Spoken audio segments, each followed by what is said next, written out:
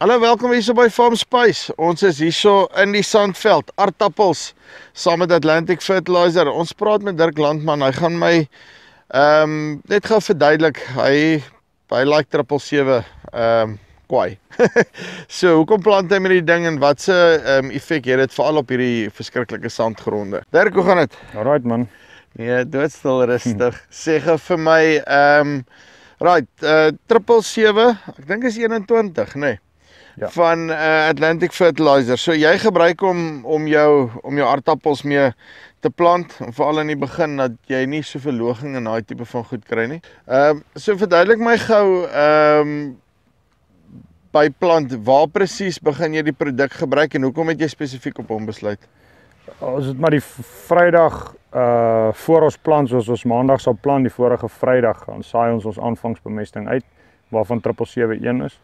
Ons gooi 700 kg hektaar uit. Ehm um, ons strooi hom breedwerpig uit met 'n strooier. Uh ons dien hom op twee sarsies uit dat hy net nie te dik strepe lê of so nie want dit is maar 'n klomp goed om op 'n slag neer te sit. So ons gooi eintlik maar 350 twee keer daai Vrydag. Dan werk ons hom bietjie in en sleep plat en dan plant ons bo op hom. Nou, ehm um, uit jou ervaring uit met ander kunsmisse wat nie daai ehm um, daai hoendermis komponent by het en kom ons sê gekomposteerde hoendermis komponent by het nie, waar lê jou groot voordele op hom? Ja, dit dit bly dit bly maar baie groot voordeel in terme van onttrekking en beskikbaarheid. Ehm um, ek dink ook hy hy kan nog hy help met vogbeskerming nogal.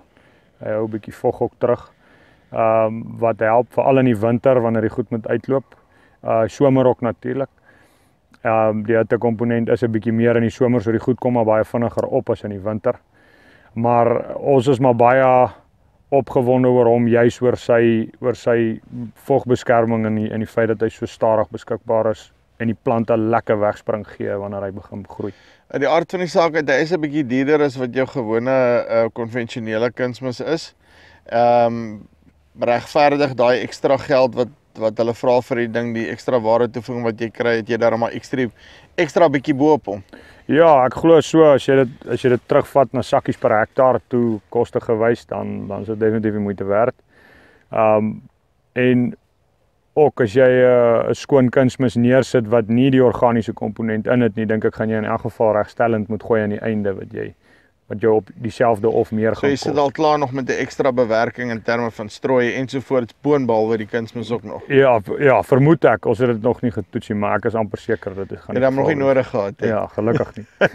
Uitstekend Dirk, baie dankie. Right, so dit is Dirk Landman van uh Landman Groep hierso by ehm um, Sandveld saam met Atlantic Fertilizers. Vaar ons wys af tot volgende keer. Groete.